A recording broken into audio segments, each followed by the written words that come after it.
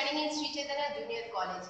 Today I am saying about my favorite teacher. Before saying that teacher is a person in our life who provides many important things together with good education. He or she plays an extraordinary role in our lives from the beginning years of development still we get mature. He, they mold us and our future accordingly in order to become a responsible citizen of the country. My favorite teacher is my physics sir. His name is Pushottam Reddy. Junior College. Today I am saying about my favorite teacher. Before saying that teacher is a person in our life who provides many important things together with good education. He or she plays an extraordinary role in our lives from the beginning years of development still we get mature.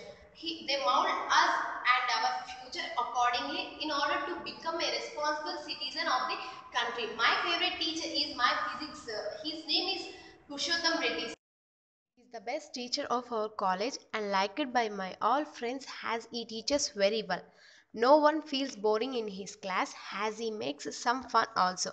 I like his strategies of teaching in class. He is a very encouraging teacher. He is also the vice principal of college. He had an amazing ability to communicate with students. He works and teaches the material from his heart. He was uh, making sure that everybody had understood he, the lesson before they leave. In conclusion, my physics teacher deserves all appreciations and respectful. I learned from him how to be confident of myself, patience, and to study hard.